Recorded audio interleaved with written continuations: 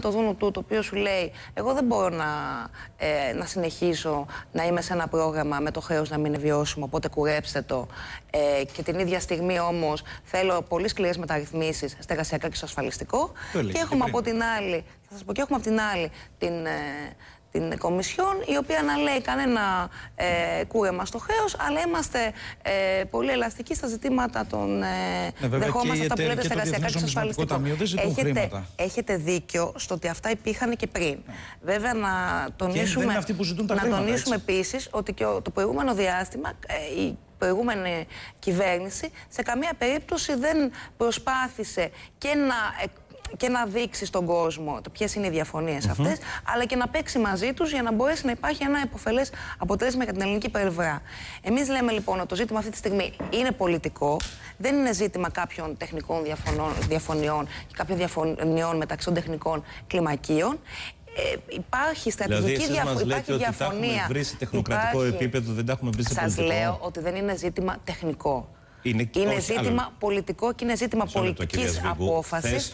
Το τι θα. Το αν... Χθες βγήκε και το non-paper του Μεγάλου Μαξίμου, μιλούσε για, και για διαφορές τεχνοκρατικές. Το ασφαλιστικό και τα εργασιακά Αυτές είναι πολιτικές. Αυτές είναι πολιτικές. Αυτές είναι πολιτικές διαφωνίες. Δεν είναι αν θα είναι ένα ή δύο. Είναι πολιτικές διαφωνίες. Το αν αυτή τη στιγμή θα έχουμε ασφαλιστικό την επόμενη περίοδο είναι σαφέστατο πολιτικό ζήτημα. Το αν θα αφήσουμε το 44% των συνταξιούχων αυτή τη στιγμή ε, ζει με συντάξεις που είναι κάτω από το όριο της φτώχειας. Αυτό, αυτό, είναι πολιτικό, αυτό είναι ζήτημα πολιτικής απόφασης. Δεν είναι ζήτημα κάποιων τεχνοκρατών ναι, στις Βρυξέλλες. Ωστόσο, ε, μισθωτοί, συνταξιούχοι, αγορά, επιχειρηματίες, όλοι έχουν στα χείλη τους μια, μια, ένα ερώτημα. Θα έχουμε η συμφωνία και θα πάμε παρακάτω, ναι ή όχι; Λίγο τους ενδιαφέρει αυτό που συζητάμε Νομίζω τώρα. Δηλαδή, απάντηση, το τι θα κάνει η Ευρωπαϊκή Ένωση με το Διεθνές Νομισματικό Ταμείο, που είναι μια κόντρα που κρατάει 10 χρόνια. θα δοθεί από την ίδια πραγματικότητα. Εμείς λέμε ότι για να υπάρξει αυτή η συμφωνία, και που εμείς κάνουμε τα πάντα για να έρθει αυτή η συμφωνία. Αλλά δεν έρχεται. Θα πρέπει, θα πρέπει και οι ίδιοι οι δανειστές να καθίσουν και οι ίδιοι σε ένα τραπέζι να, να κάνουν υποχωρήσεις και μεταξύ τους. Γιατί δεν γίνεται οι μένα να βάζουν τρεις κόκκινες γραμμές σε αυτά που σας είπα, οι άλλοι να βάζουν άλλα και, όλα... και να έρχονται όλες ναι, είναι όλο κόκκινο το πράγμα. Επίσης, είναι δεδομένο ότι ο ελληνικός λαός ψήφισε 25 Γενάρη και ψήφισε για αλλαγή πολιτικής.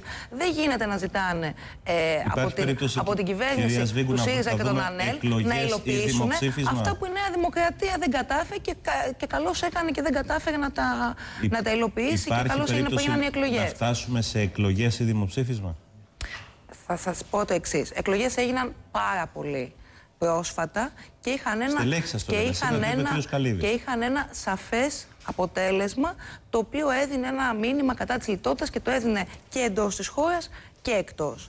Ε, πολλοί εντός της χώρας δεν το έχουν συνειδητοποιήσει ακόμα. Άλλο τόσο και περισσότερο και εκτός δεν μπορούν να το συνειδητοποιήσουν.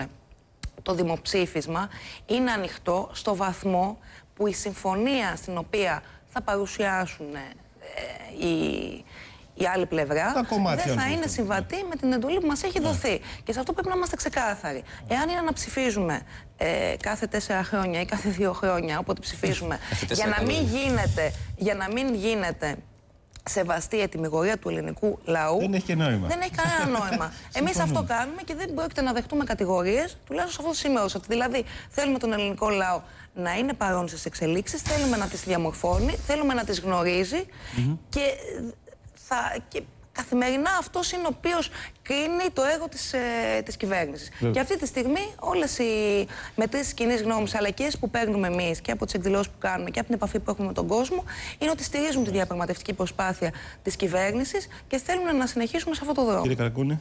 Ναι. Πρώτα απ' όλα να κάνω ένα σχόλιο για τις εκλογές και για το δημοψήφισμα. Ε, ναι, το οποίο ακούγεται... Ναι, είναι πάρα πολλά τα θέματα, τα πούμε ναι. Ε, για τις εκλογές και το δημοψήφισμα που πολλά στελέχη του ΣΥΡΙΖΑ το, το φανερώνουν ως μια εναλλακτική. Το να κάνεις δημοψήφισμα ή εκλογές, να πάμε το δημοψήφισμα, σημαίνει ότι η εντολή που πήρες πριν από τρεις μήνες, η οποία πια ήταν, κάνει μια καλύτερη διαπραγμάτευση μέσα στο ευρώ.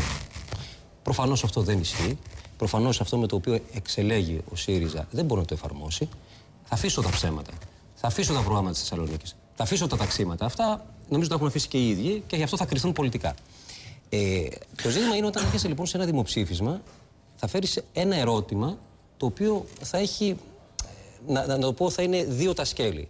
Ή θα φέρεις μια συμφωνία η οποία προφανώς είναι χειρότερη από αυτό που ίσχυε πριν, δηλαδή διαφορετικά, γιατί λένε θα κάνουν, θα κάνουν μια διαπραγμάτευση. Αν αυτή η διαπραγμάτευση δεν πετύχει, δηλαδή είναι ανέφικτο να πετύχει, χρησιμοποιούν και τη λέξη ανέφικτο, mm πάει να πει ότι αυτό το οποίο είχαν τάξει, η προηγούμενη συμφωνία, δεν ισχύει και πάμε σε μια χειρότερη συμφωνία. Οπότε λοιπόν, ή θα βάλουν στο ερώτημα μια χειρότερη, μια επιδεινωμένη συμφωνία, ή θα βάλουν τη διέξοδο στη δραχμή. Δηλαδή είναι απόλυτη καταστροφή. Θα έχει λοιπόν να επιλέξει ο κόσμος ανάμεσα σε δύο. Ή σε μια πολύ χειρότερη συμφωνία, ή στην απόλυτη καταστροφή. Ή στην έξοδο από το ευρώ. Αυτό σημαίνει λοιπόν ότι 100 μέρες, όχι μόνο διαπραγμάτευση δεν έχει γίνει. Γιατί εντάξει, ε, είναι κοντά τρεις μήνες η διαπραγμάτευση αυτή τη στιγμή. Ο κύριος Τσίπρας, από ό,τι θυμάμαι, έχει συναντήσει τους πάντες.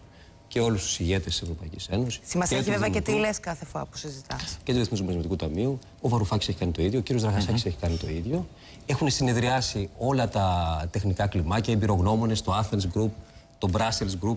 Έχουν γίνει όλες αυτές τις συζητήσεις και βρισκόμαστε ακριβώς στο ίδιο σημείο όσον αφορά τη διαπραγμάτευση.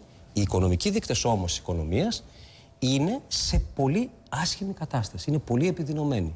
Δηλαδή, μια δημοσιονομική κατάσταση είναι πολύ χειρότερη. Έχεις στραγγίξει το δημόσιο, έχουν στραγγίξει οι τράπεζες, έχει στραγγίξει η αγορά. Οπότε τι σημαίνει αυτό, Ότι διαπραγματευτικά είσαι σε καλύτερη θέση. Εγώ θεωρώ ότι είσαι σε χειρότερη θέση. Αυτά έγιναν μέσα σε τρεις μήνες, κύριε Γαραγκούνη. Βεβαίως. Βεβαίως, θα σας πω, διότι τρεις μήνες τώρα, όταν δεν πληρώνεται κανένας, όταν δεν τρέχει ρευστό στην αγορά. Ποιοι δεν πληρώνονται; Προμηθευτές. Ξέρετε τι έχει γίνει στα. Είδατε το. Το βίντεο με τα νοσοκομεία. Στα νοσοκομεία. Πρέπει να πληρώσαμε τις εφημερίες. Πληρώσαμε ναι, τις εφημερίες από το 12 μέχρι το 13, τις οποίες είχατε σα Πρέπει λίγο να, το, να τα είστε λίγο ενημερωμένοι. Πληρώθηκε το 13. Όταν δεν έχει ξαναγίνει ποτέ τακτικές εφημερίες, μετά από δύο μήνε. Μετά από δύο Όχι, δεν θυμόμαστε τους γιατρούς. Όχι, το Δεκέμβριο θα πληρωθεί. Μπορεί να βγουν οι γιατροί και να το, να το βεβαιώσουν. Έχετε για πρώτη φορά, για πρώτη φορά έχετε καθυστερήσει πάνω από τρεις μήνες, τρεις μήνες τις πληρωμές. Δηλαδή αυτά που έπρεπε να πληρωθούν. Προσέξτε τώρα. Όταν η, η επιδότηση, η, χο, η χορήγηση που γίνεται στα νοσοκομεία κάθε μήνα είναι 80 100 εκατομμύρια ευρώ και έχετε δώσει 20. Κάτι δεν πάει καλά τα νοσοκομεία αυτή τη στιγμή πιθανότατα να, να αντιμετωπίσουν δεν τεράστιο πρόβλημα. Και η υπουργική απόφαση για βιβλιάριο για τους ανασφάλιστους. Ναι, Αυτά αυτό, θέλουμε αυτό, να διορθώσουμε. Το, οποίο εμείς, το πώς έχετε ισοπεδώσει εσείς στη δημόσια υγεία. Αυτό θέλουμε να διορθώσουμε. Αλλά θα ήθελα και ένα σχόλιο λοιπόν, σχετικά. Θα ήθελα λοιπόν, ένα σχόλιο σχετικά και με την κριτική που ασκείται από τη Νέα Δημοκρατία. Ναι. Τη μία μέρα ε, ακούμε τον κύριο Καραγκούνη και άλλα αγαπητά στελέχη από την αξιωματική αντιπολίτευση να λένε ότι πάμε να υπογράψουμε νέο μνημόνιο και πάνε να, παρουσια... να... Στην καλύτερη να παρουσιάσουν. Στην καλύτερη. Τι θα υπογράψουν. Η χειρότερη ποια είναι; Και την επόμενη μέρα λένε ότι πάμε για δραχμή. Δεν το λέμε εμείς.